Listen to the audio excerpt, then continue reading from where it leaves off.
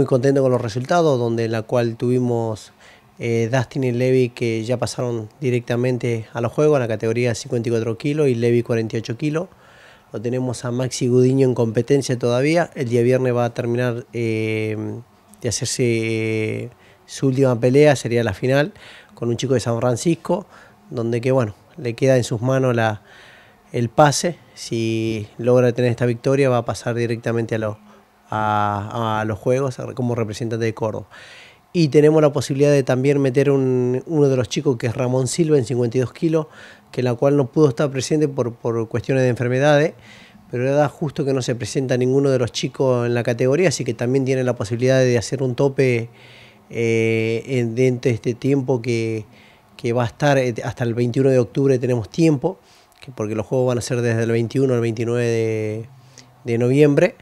Y bueno, tiene un tiempo todavía para poder eh, integrar el equipo cordobés. Así que tenemos chance hasta poder lograr meter eh, cuatro chicos en, la selección cordobesa. Desde el 21 se va a viajar, sale de la Agencia Córdoba de Deporte para Mar del Plata el 22 comienza se hace lo, que es la, inauguración y las competencias, van, a empezar.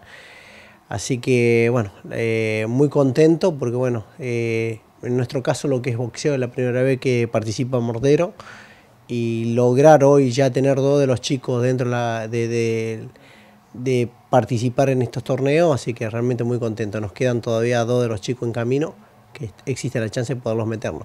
¿Cómo fue el camino de Dustin y de Levis eh, este pasado fin de semana para, para llegar a la clasificación? Bueno, eh, Levi gana por wild cover, donde en la cual había un chiquito de, había tres anotados, en la cual bueno se hizo presente un chico de Arroyito, e hizo el pesaje, todo, el control médico, el chequeo, y bueno, a la hora de la competencia el entrenador decidió, decidió de no hacerlo pelear.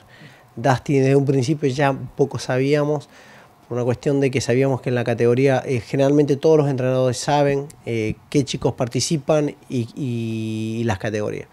En la semana sabíamos un chico que había dos chicos también anotados y uno de los es de Cruz del Eje. Y también a último momento decidió no, no presentarlo porque sabía que iba a chocar con uno de los, de los chicos que era con Dustin.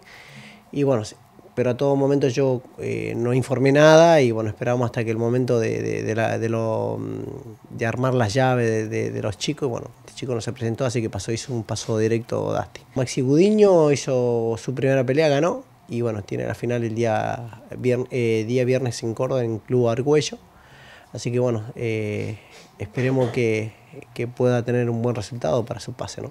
Y por último, profe, preguntarle la alegría, me imagino, por parte del gimnasio, de tener representantes también ahora en la provincia de Córdoba y ya buscando lógicamente eh, asentarse en el futuro del boxeo argentino.